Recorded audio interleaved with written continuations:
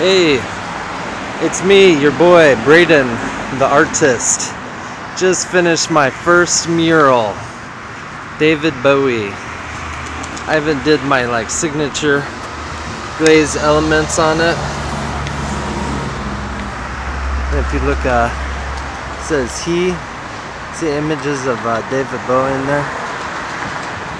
Who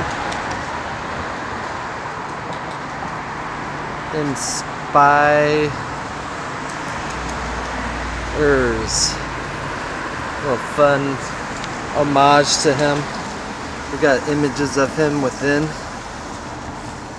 Then it was fun. I met a guy driving by that shot him a bunch of times for the Rolling Stone.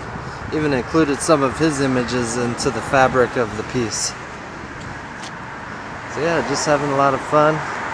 Usually have my uh, theme that I usually have, glasses, glaze elements, little lightning strike action right there.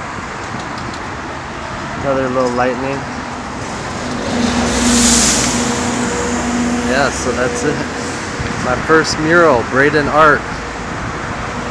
Hollywood, California, Sunset Boulevard. Some of the details. See the splatter paint I did. There just